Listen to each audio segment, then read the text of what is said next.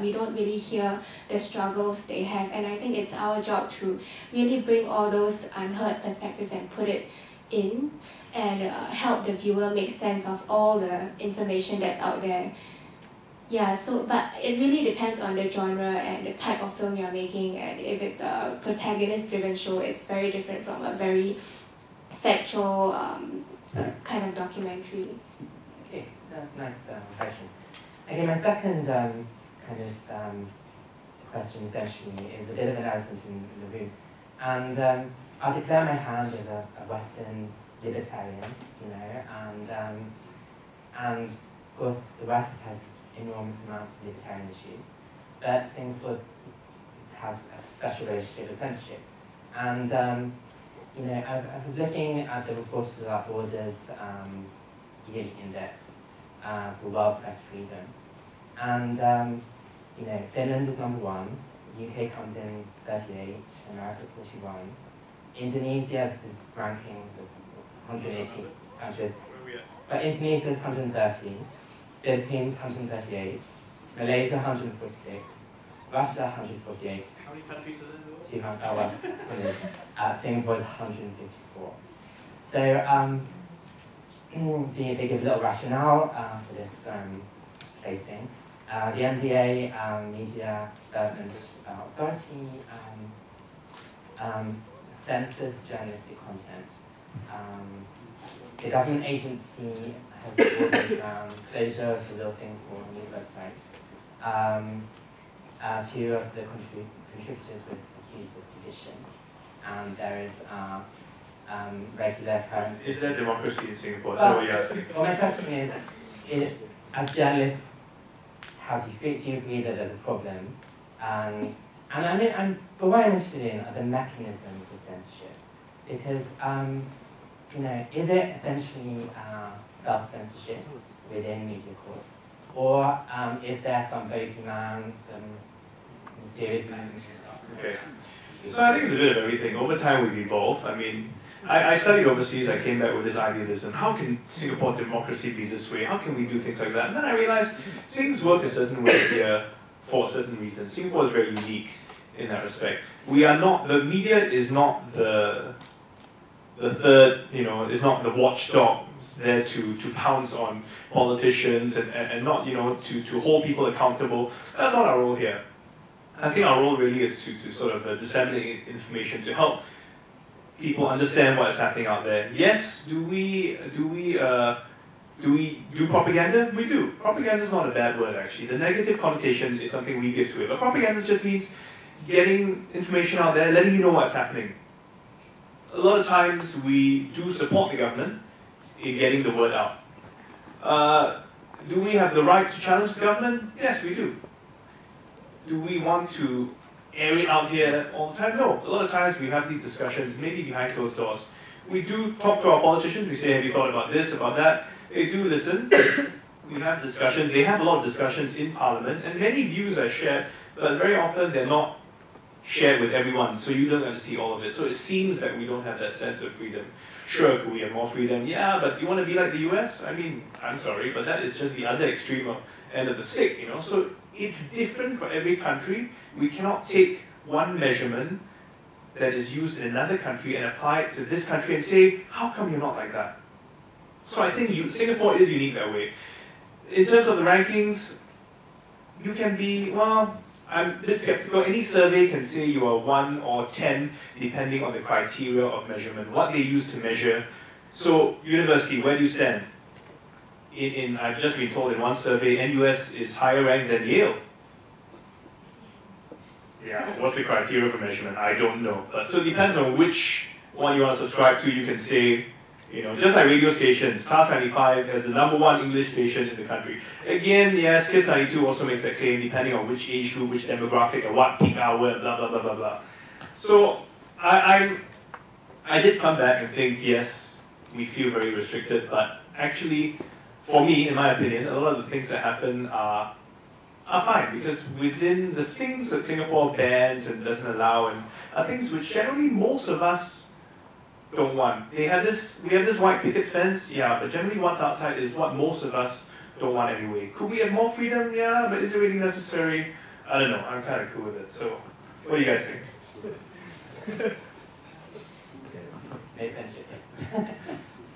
think when talking about censorship, it's also important to think about whether the people who are creating the content really feel uh, censored. And as a young journalist, I can say that, you know, with a lot of information, I have never felt the censorship. And I've been able to produce a lot of content that I've been wanting to produce.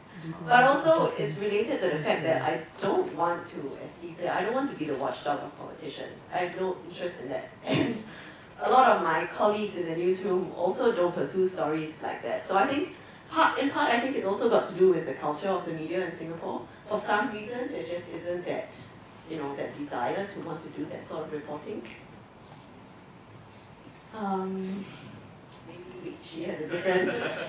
I uh, I Uh, I have many experiences with censorship, and I would say there is definitely censorship in our media. And uh, I went through, in a way, a long struggle with it before I, I came to terms with the way things are run. So I had a very uh, different experience from Shu Shan.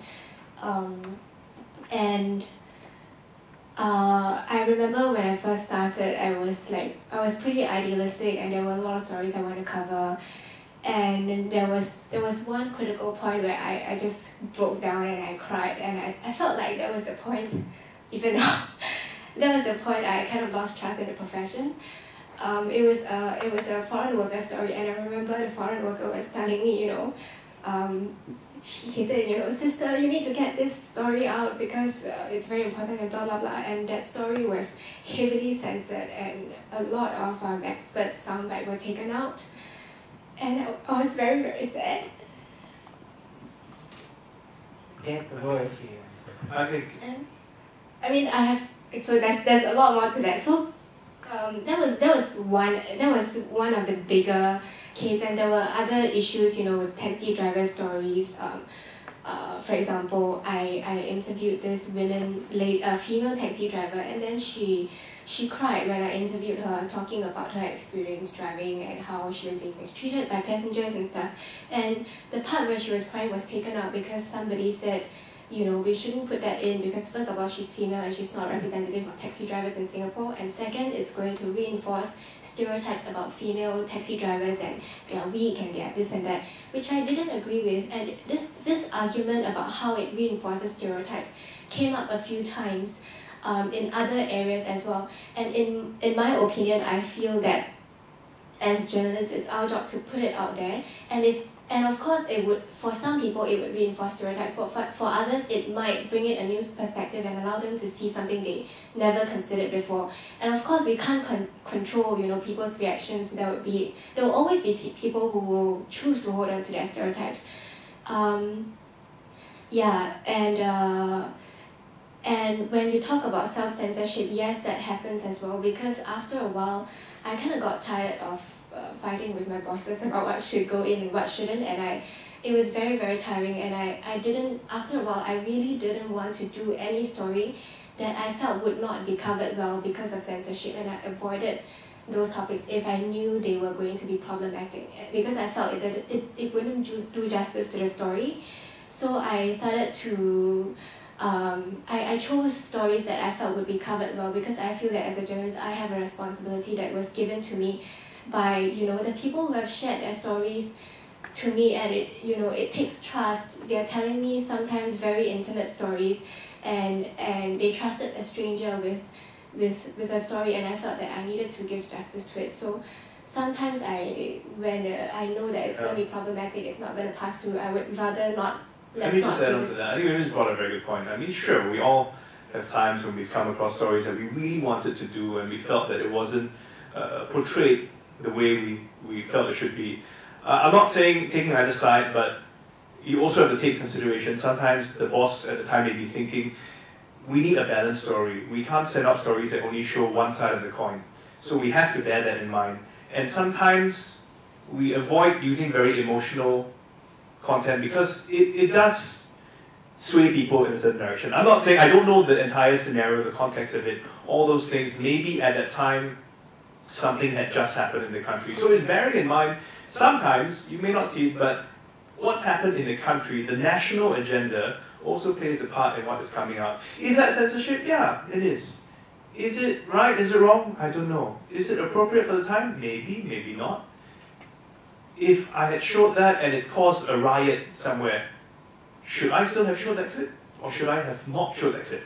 And that's a totally different debate because it takes censorship to a different level. So Singapore's unique in the sense that here because we're so small, so so many things are controlled very tightly. And I think for good reason. Whether it's good or bad, I, I can't tell you what it is. Does someone call up and say, take that off air? Sometimes it does. And believe it or not, it may not be a politician. It can just be a viewer saying, I felt very offended by that. So it can be any of you calling to react to any of this. It doesn't have to be somebody up there. There is no somebody. There are many somebodies. and is there self-censorship? Yes. I think we all do that as well. So, uh, yeah, okay, we, we won't, I mean, we can And, go. uh, I, and I just want to put in a caveat. It doesn't mean that we are we are just being very safe because we do do stories. Like recently, I did this documentary called Regardless of Race, which for me was really really towing the line about what we can talk about, and that's for me a big step forward. And a lot of people may criticize it and say, you know, we, we're still not talking about X Y Z. But the fact that the documentary got out in the first place, which you know half the time we're wondering whether it would even go on air, that for me was a, a big step forward. And I think we are always, you know, within the organization doing doing our best to to toe the line and and and yeah. And it. Um, of course, like where Amos E really this out um, internationally. Um, again, and America, it's a, I mean, America, which is read about it, and New York, for instance, said those of us who in the fourth estate have a duty to spread the word of his ridiculous charges. Um, people like Amos E, if they end up the custodians of our profession, the futures of countries like Singapore can be brighter than their past. Um, Seriously? Well, Uh, Donald Trump. okay, okay. Sorry, but... Okay, that is, that is absolutely a fair uh, observation. Um, but, but my main problem with censorship is actually its effect on creative output. Because what I see is uh, budding young uh, students who, want to be filmmakers and writers, and this culture of self-censorship and ultimately censorship of, of their final works um, really puts a dampener on, on uh, the creativity. And quite recently, this whole debate: is an art possible in Singapore?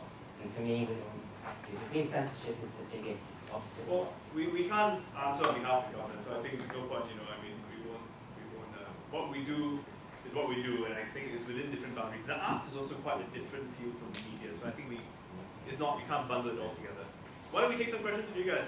I have something to say to that. I think that uh, create. I think that censorship should not be an excuse to having no creativity. In fact, censorship being there is an impetus for us to get creative in telling the story in a different way, in a way that is sensitive, that wouldn't get people so offended, and um, that still get the message out and get people thinking and get, uh, yeah. So, and it's the same thing, you know, if you look at media, even if it's not censored, so many stories out there have been done, you know, there's so many media, organizations worldwide, and now everybody can be a journalist because there's citizen journalism and all that. And we're competing, you know, against so many people for stories, and it's really about how do you get creative to make sure your story is told in a different way, in a way that gets people attention. So I don't think that censorship is necessarily a barrier to creativity. In fact, it forces us to think, given that this censorship law is there, how can we go around it? That's fascinating. All right, it is over to the audience. And, uh, be brave. I'm not going to ask about censorship. um, I'm Poon King Wang. I'm the Director of Strategic Planning at the University. I'm also Director of the Economy Center for Innovative Cities. Um, actually, I, I mean, I really want to focus more on you as journalists because I think one of the things that you have to do is keep a very close view on the pulse of the ground. Either because you want to bring up different perspectives, either you want to bring a national agenda, or because you think there's an interesting question for needs to be. So maybe my question to you is how do you keep your sense of what is important that needs to be brought out into the open and for which the media is the appropriate channel to get that out?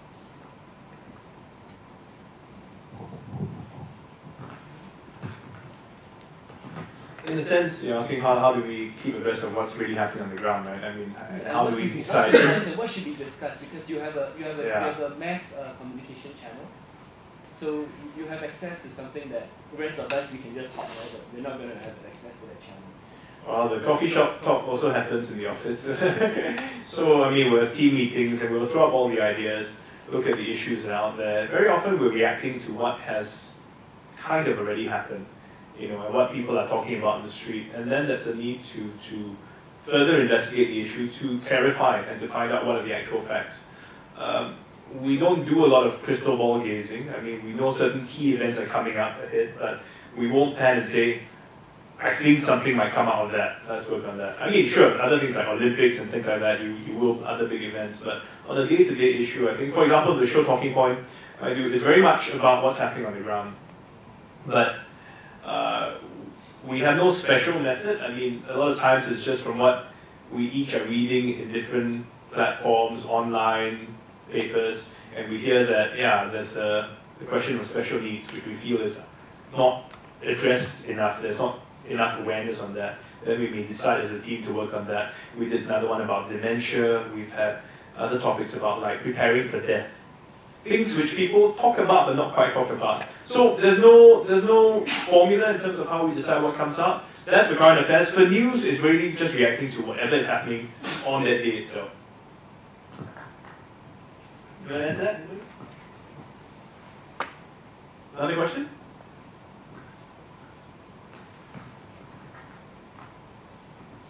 Is it alright if I don't use the mic?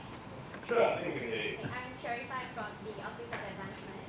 Uh, my first question is, media plays a huge part in influencing the public, especially social media and everything.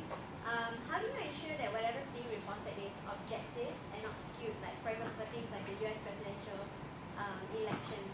My second question is, uh, it seems like documentaries like this are becoming very reality TV style, um, very storytelling kind of angle. What if you go through everything and absolutely nothing happens?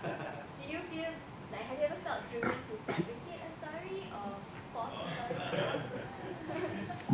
Maybe I just address the one uh, on news first, and you guys can talk about the the fabrication. um, wait, what? Sorry, now I forgot. What was your question again? The first one? How do you make sure that um, on we remain objective? objective? Uh, for news, it's quite straightforward because we get the, the information from all the different newswire agencies that come in. So, for uh, for example, what's happening in the US, we have our correspondents there. We kind of report on just what is happening. There is no uh, personal input required. When you have an interview with a guest, I mean, we just kind of ask questions that we think everybody else would be wanting to ask. How I feel about Donald Trump, I mean, for example, doesn't play into the scheme of things. It shouldn't. If you can tell that I'm not for him, then then I haven't been doing my job effectively. But the same token, I think we are all, as I mentioned earlier, we're never fully, truly neutral and objective because we all have some biases. And uh, that's why there are commentaries. Commentaries are basically for you to air your opinion as whoever, you know, I mean, that's why we always hear about, in the Straits Times, about, I suddenly forgot her name, but she tells us about her, her whole love life and her Sumiko Tan, yeah. You know, that's, which is a totally different kind of news, uh, not reporting. But yeah, so that that's for, for news. You want to talk about it? Oh, sorry, you want to add that? I guess taking it back to a more local issue, if we look at how we reported the general election last year, um, I think in the digital team at least, there was a lot of effort to ensure that we gave equal coverage to all parties, not just the PAP. And it was actually a KPI, or not, not even a KPI, it was a necessity to generate reports on how many posts we had for each party and to make sure that it correlated to the size of the party. So, you know, that we take measures, we actually do take measures like that in terms of writing commentaries on, you know, our own opinions about the different parties, all this chatter about? But do you think there's democracy in Singapore? That's the question. Do we think there's democracy? Yeah. Let- Why don't we let all of you What do you all think? Is Yeah. democracy in Singapore? Are we a democratic society based on justice? Are the are the other parties really given really given a fair? Yeah, what do you think? Are the other parties really given a fair show? A fair, a fair go at what they need to say? Who says yes? Who says no? Hey.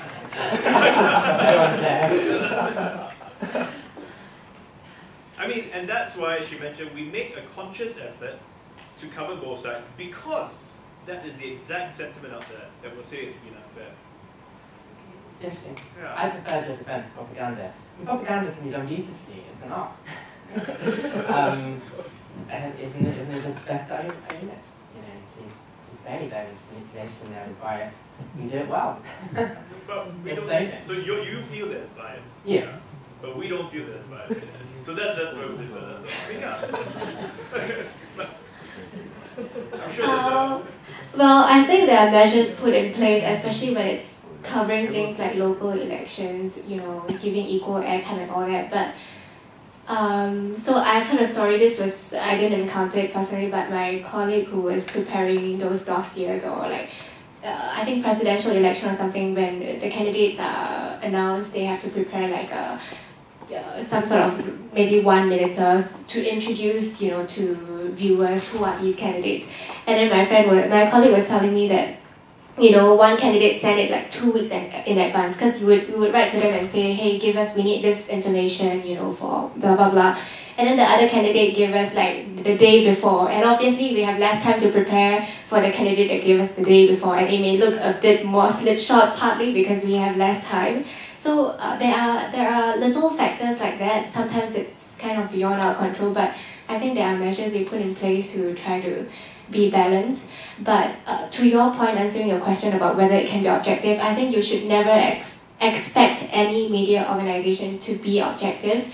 And Channel News Asia, our branding is is Channel News Asia. It's giving the Asian perspective. So when it comes to U.S. election, our stories are are planned and intentionally meant to look a bit different from if you watch a US coverage or a UK coverage. Because when we are briefed to get a story about the US election, we are looking at, you know, what is its impact on Asia, what is US and uh, Japan's bilateral uh, relations, how is it going to change if Trump takes over? And what impact does that have on our security here. So it's going to be a different focus and in that sense it's biased. We are we're giving you a perspective already and all media organizations does that depending on how it's funded um, you know where its money is coming from. So uh, I mean as a viewer I think you should be cognizant of that. You should look at where a media organization is getting its money and you should always be reading from a variety of a, a healthy diet of news I would say. That's right. It's very, it's very clear the difference between CNN and Fox News, right? You know the difference, right? Each of them are for different parties. So if you watch it knowing that, you have that filter. But let's talk about uh, fabrication. Have you ever been Have you ever been tempted to make up something So, for a really boring um, when we look at a documentary, it's a very it's something that requires a lot of investment in, ter- in terms of time, commitment, research, and money. So before we would even go in, it's it's quite unlikely that we would have filmed for six months and have nothing because if we knew that there were nothing, we would have pulled it off at two weeks, for example, or one week. In fact, for the Don't Kid Around show, where it's six months project, we were filming over six months. We did a pilot like a one week. We just spend one week there, no crew, no equipment. The reporters, we just plant ourselves there, observe the classroom, look at the kids, get to know them for one week, and and decide, you know, okay, you know, could there be a potential story here? Who are the outstanding characters that we can follow? So these are the ways we, uh, I guess, measures we put in to minimize the risk of investing so much and then having nothing coming out of it. Um, I think there have been cases where we have put in money and we threw away an entire story. Uh, even for like Get Real, we paid for the research and stuff, and we realized we can't get access. And when there's no access, there's no story because uh, you, you, there's nobody fronting the show, you know. So we have done that before. As for fabrication, I have never, we have never fabricated out of nothing. There needs to be something, you know. So like for Don't Kid Around, we filmed over six months, and when you look at one episode, it looks like a ton of things happen in a half an hour show, but it's like uh, something, a scene that happened on a Monday in January, and we put it together with a scene that happened in May, and we put it together in the same episode, and it looks like a ton of things happen, and the lives of the kids are very exciting, but actually it, it all happened over six months, and, it, and it's condensed. Yeah, but it, we don't really, we can't fabricate out of nothing because you need. We, we, we won't, uh, we, we don't. We will just throw it away and not make the show. We, we won't. I mean, the, when there was one case of a news agency overseas being caught out because they said, oh, I'm reporting to you, you know, from the scene of this disaster, and da, da, da, da, and then they realized that they were just in the car park of their building, you know, kind of, it was faked just to, to do that, so they got caught, so. Then, then, then, then you're in trouble because nobody will ever believe anything you do again. Yeah, and it's really hard to fabricate. I have to say when we are when we are deciding which story to do, when we are pitching stories and researching, and before we decide to go in, let's say to a, a different country to report, there's a lot of considerations, and it just makes my job easier if I have all the profiles, the experts I need, and the characters. It's so difficult to fabricate. We we usually don't go there. Other questions? Yeah, I have a question. It's um, related tangentially, I think, to the idea of censorship and, and create innovation or creativity.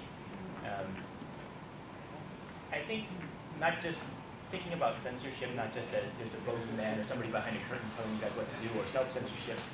I think we have to think about creativity in a, in a larger context. So socially within, say, this country, um, it's, it strikes me that perhaps there may be other forces or pressures um, at work. So for example, our, our students, uh, young men and young women who may be interested in pursuing careers in, in broadcasting, for example, or media, I, I don't know if there's, there's the, or do you guys feel from your own experience there's a social space for people to, to pursue that line, right? Or did you feel discouraged, for example, socially from your family or in education institutions or whatever to kind of pursue other careers that may may have um, prevented, so for example, some creative individuals from entering the, the, the, field from the very beginning.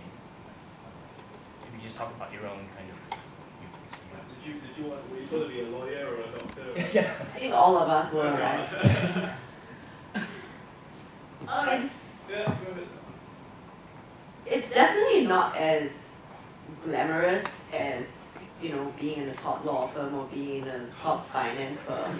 I mean, most of the time I'm carrying my own camera, just, you know, like in a really unglamorous place, looking really unglamorous.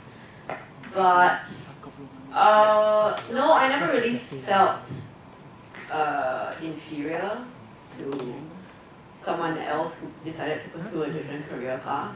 I think it's also about managing your own expectations, right? You can't expect to go into the media and expect to be earning like a lot of money and and looking really glamorous. It's a, it's a lifestyle choice, really. But having said that, a lot of my friends who have those kinds of jobs envy what I do.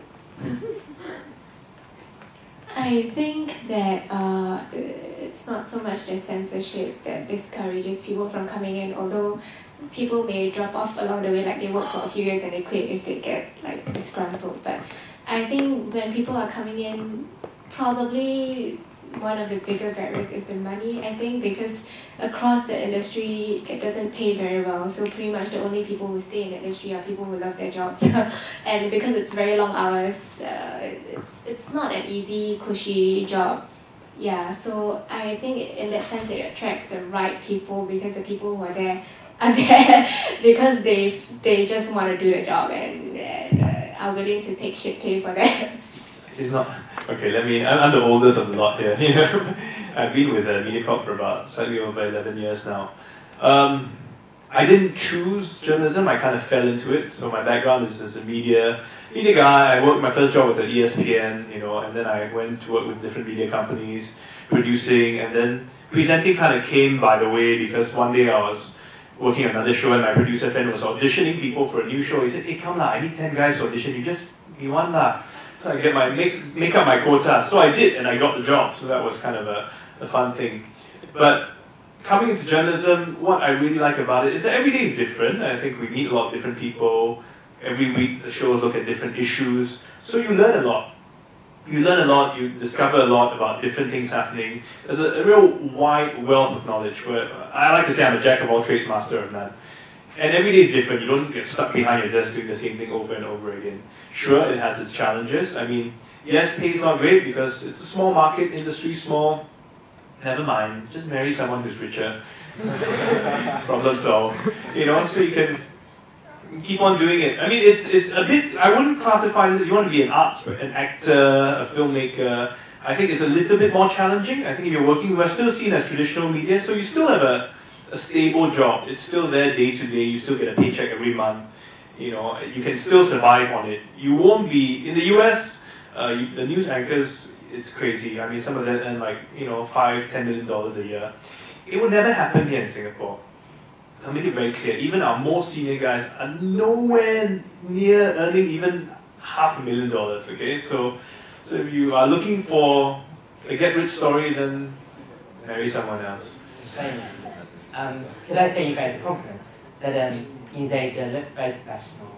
I mean, that, okay, it's not the same budget as CNN, but you guys look good. You really do. Thank you. Um, and um, on the other hand, the Mediacorp um, drama production, um, from what I've seen, but trying to be diplomatic, that it, for, for start, it, certainly doesn't look high budget at all.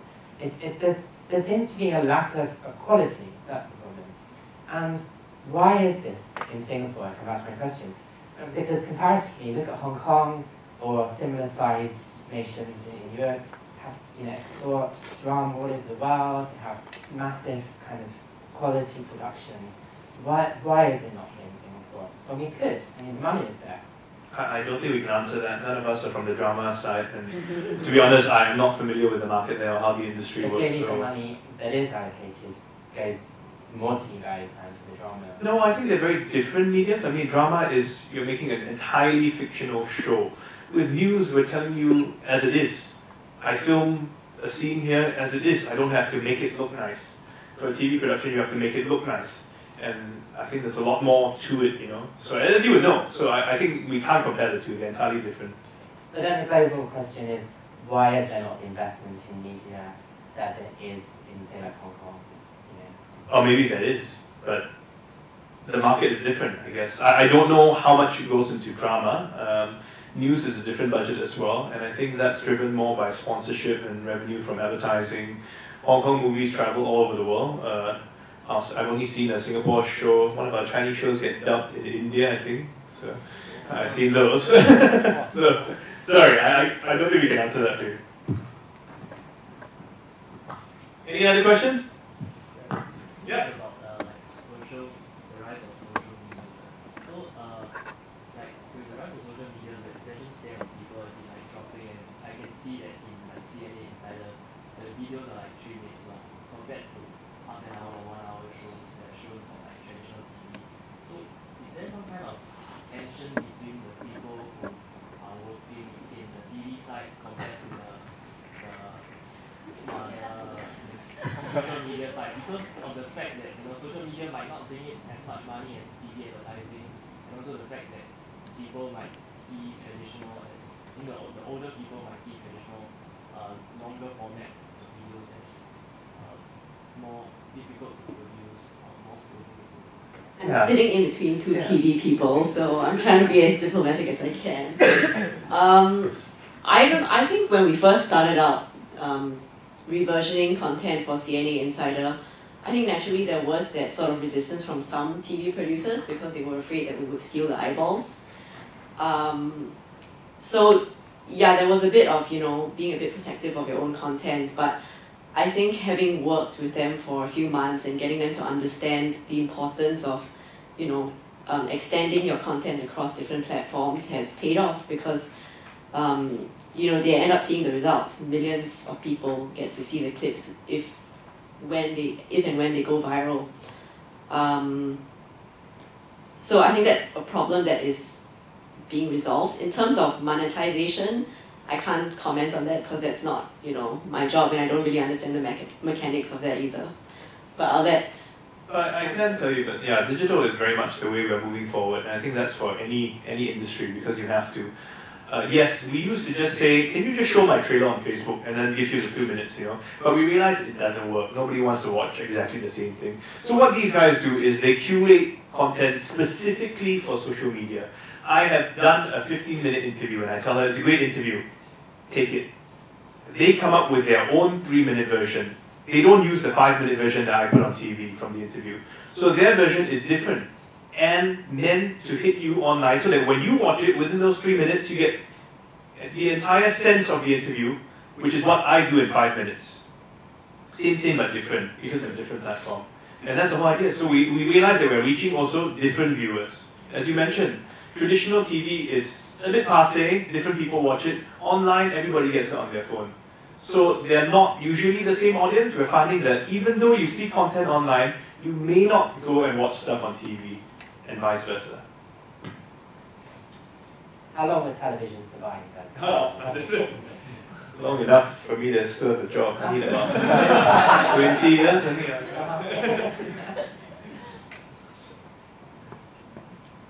Okay, uh, five minutes.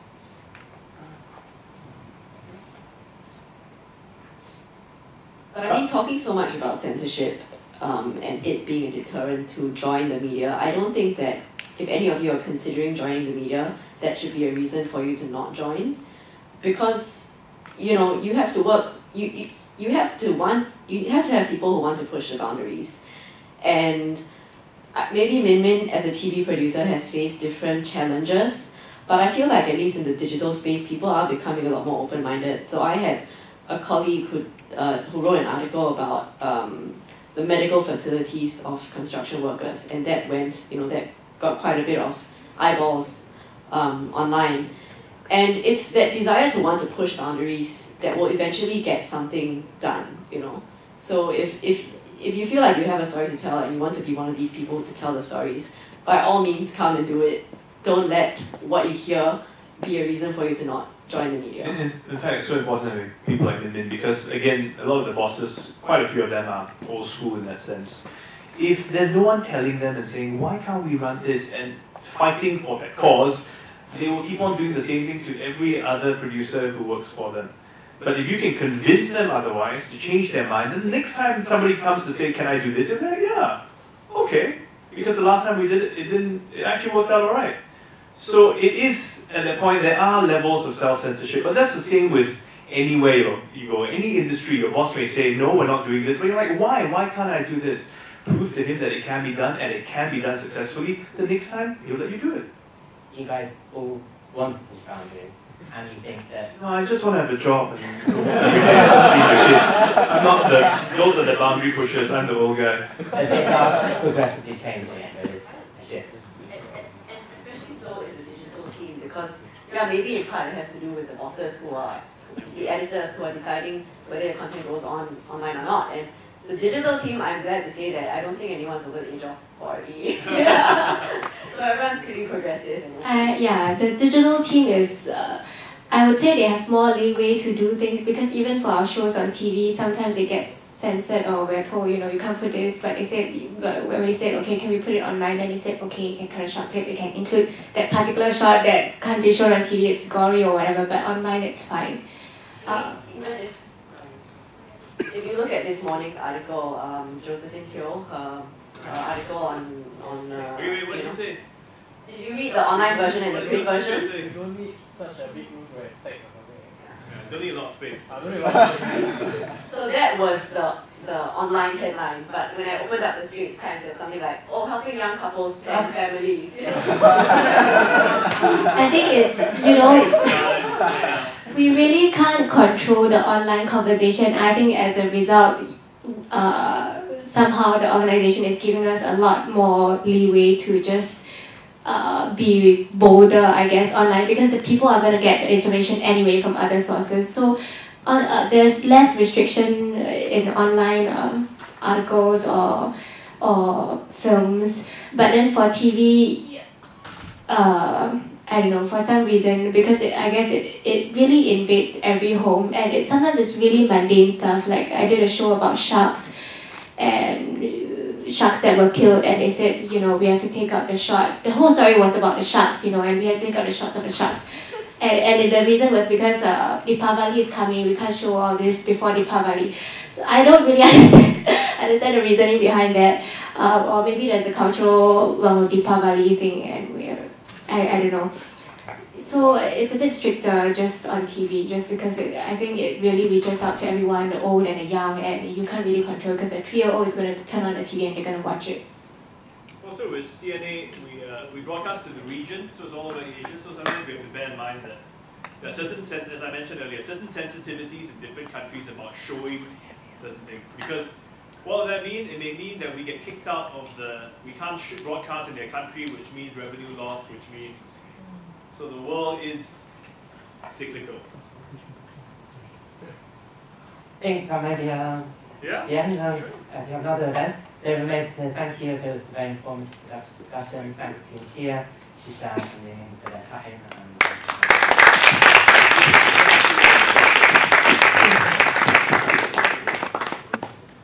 So if you have more questions, you can find us all online. Just drop us a note, and yeah, we'll happily chat with you online as long as you're nice. Thank you.